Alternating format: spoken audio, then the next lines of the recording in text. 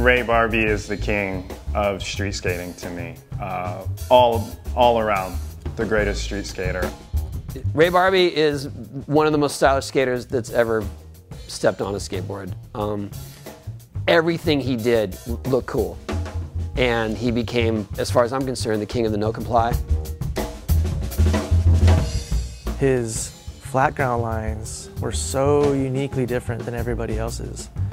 I don't think anyone to this day has even come close to it. It's like such a unique, so specifically Ray Barbee thing that, and it's kind of sad that only skaters really know about it.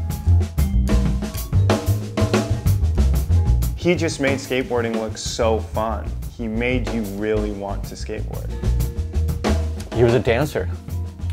He actually floated and danced on his board like a Fred Astaire type. It was like when people saw it, they wanted to be like that.